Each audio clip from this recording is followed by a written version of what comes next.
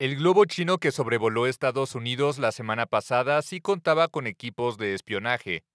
Así lo denunció el jueves el Departamento de Estado señalando que el artefacto era claramente para la vigilancia de inteligencia y tenía múltiples antenas para incluir una matriz probablemente capaz de recopilar y geolocalizar comunicaciones. Un avión de combate derribó el globo sobre el Océano Atlántico el sábado, después de que había cruzado gran parte de Estados Unidos sobrevolando áreas donde se resguardan misiles nucleares en silos subterráneos y bases de bombarderos estratégicos.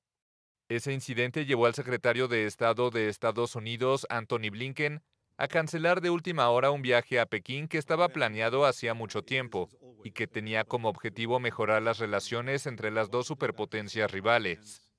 Un alto funcionario que pidió mantener el anonimato indicó que Estados Unidos cree que el globo estaba bajo control del Ejército Popular de China y es parte de una flota de globos que Pekín ha enviado a más de 40 países para recopilar información de inteligencia.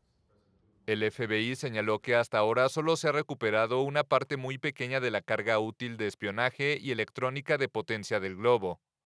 Advirtió que el mal tiempo podría dificultar la recolección de todo el material en alta mar.